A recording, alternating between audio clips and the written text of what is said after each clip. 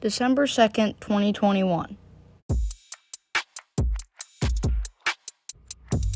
Welcome to the uh, first episode. And unlike most YouTubers, not going to sit here for an hour and go, eh, blah, blah, blah, blah, thank you for uh, this many subscribers. I'm just going to get straight into it.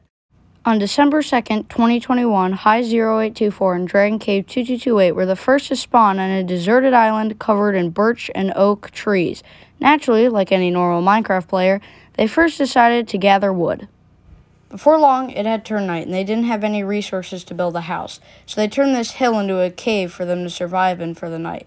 Inside this cave was chests and beds for their convenience.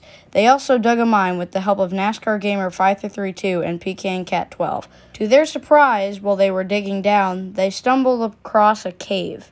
This cave was huge. They didn't know it yet, but the entire island was hollow. This cave made it that way. This cave gave them all the mineral resources they needed, and it was so deep that in certain areas it even went down to deepslate.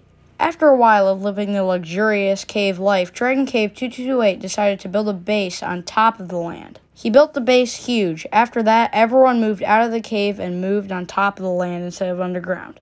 The base had a giant wheat farm, courthouse, workbenches for convenience, and a sheep pen. After a while of living in the base, High 0824 took inspiration from Pillager outposts and built this lighthouse. His lighthouse had a water elevator in the middle, and everything he owned was on the top. He also produced his own food by making this giant wheat farm.